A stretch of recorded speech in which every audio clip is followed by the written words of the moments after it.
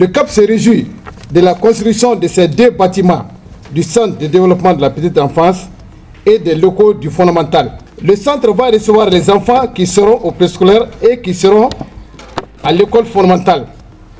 La création de ce centre permettra de s'occuper des enfants en situation difficile, mais aussi de leur donner une éducation de qualité. Je félicite beaucoup les partenaires du centre Fondation Orange Mali et ACFA Mali pour leur volonté de bien faire. Depuis des années, Orange Mali et sa fondation œuvrent pour que tous les enfants de notre pays soient scolarisés.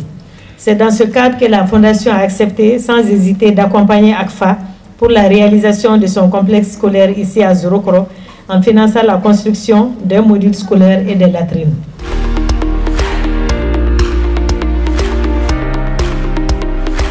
L'occasion aujourd'hui est splendide, dans la mesure où nous venons ensemble pour l'inauguration de notre école financée par la Fondation Orange.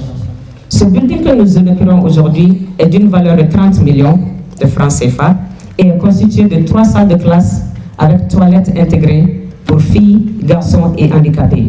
À ce jour, ACFA est responsable de 64 enfants, dont 53 ont accès à l'école que la Fondation Orange a financée pour les enfants vulnérables du Mali. Pour cela, nous ne pourrons jamais remercier assez la Fondation Orange.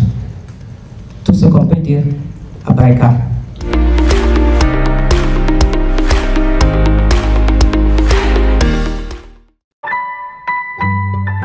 Orange.